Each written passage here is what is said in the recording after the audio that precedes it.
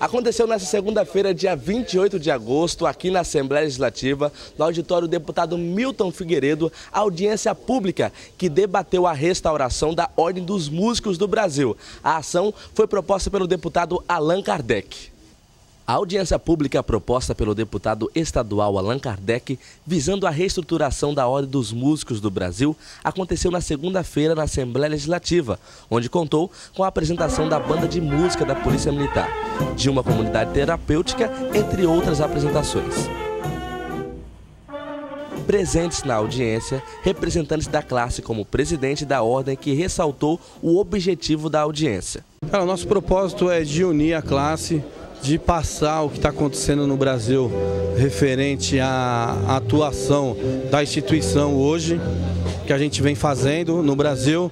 A instituição ficou abandonada durante 50 anos e agora a gente está organizando os estados, buscando um músico que sejam responsáveis, que tenham um comprometimento com a classe realmente para poder somar com a gente nessa luta aí.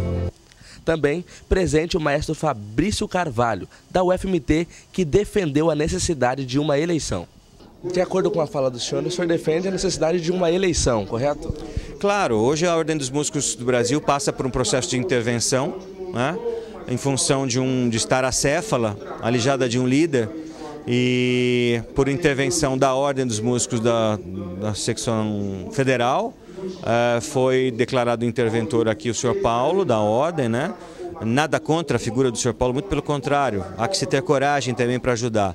Mas eu acho que a intervenção não se sustenta. Né? O processo democrático ele é melhor porque você elege dos seus pares ou daqueles que se, que se colocam à disposição da categoria a sua liderança, para que essa liderança seja validada e tenha força política para lutar e falar em nome da classe. Então, eu defendo não só para a classe dos músicos, mas para qualquer processo de escolha de uma liderança, o processo democrático.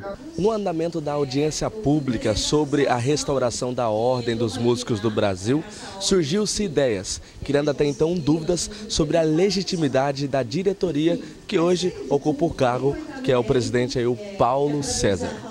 Paulo, com a audiência pública de hoje, quais expectativas agora para a formação da ordem aqui, para a continuidade desse projeto aqui em Mato Grosso? Eu vejo que criou-se uma nova roupagem. Houve algumas críticas, é normal, mas aí a classe começa a entender uma, uma, uma claridade, ou seja, algo que nunca se aconteceu, que trabalhasse clara, né? Dar a cara a tapa, mostrar, trazer e botar em público e na audiência pública e falar em todo o estado do Mato Grosso. A Ordem dos Músicos do Brasil agora tem uma nova direção nacional e a gente quer que a Ordem dos Músicos do Brasil em Mato Grosso também tenha isso. Então nós estamos propondo essa audiência pública primeiro para identificar quantos são os músicos que vivem exclusivamente da música no estado de Mato Grosso. Tem um levantamento a cerca de 5 a 6 mil, mas a gente acredita que é muito mais.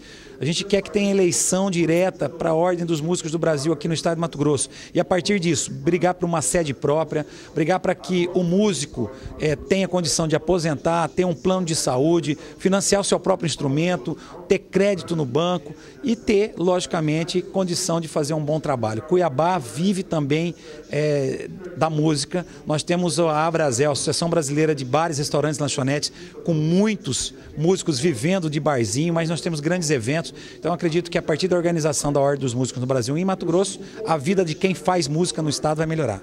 Caio Cordeiro, da TV Comunitária Cuiabá, para o programa Mato Grosso é Mais.